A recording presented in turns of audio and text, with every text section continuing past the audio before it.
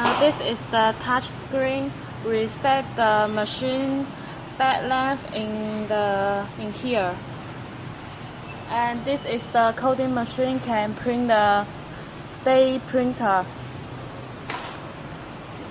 And this is the reset the packing field.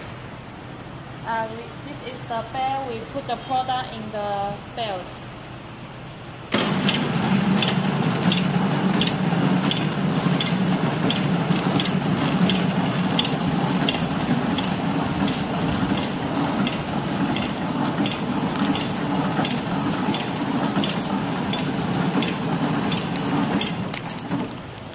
Uh, this is our package product. This is the day